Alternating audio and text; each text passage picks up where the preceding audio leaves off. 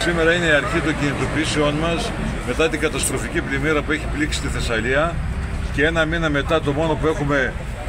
δεχτεί ως βοήθεια, να το πω έτσι, είναι υποσχέσεις, αόριστες υποσχέσεις ότι κάποια στιγμή θα αποζημιωθούμε χωρίς να υπάρχει κανένα χρονοδιάγραμμα. Μια περιοχή που περίπου 250.000 στρέμματα βρίσκονται κάτω από το νερό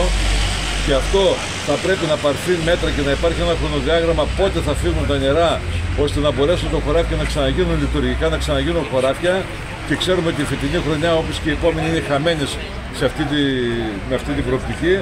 Και αυτό που ζητάμε σήμερα από την κυβέρνηση είναι να δώσει άμεσα μια προκαταβολή, να δώσει ένα οικονομικό βοήθημα ώστε να μπορέσουμε να συνεχίσουμε και για βιοποριστικούς λόγους να καλύψουμε τις ανάγκες μας αλλά και να αρχίσουν να γίνονται κάποιες εργασίες που είναι απαραίτητες,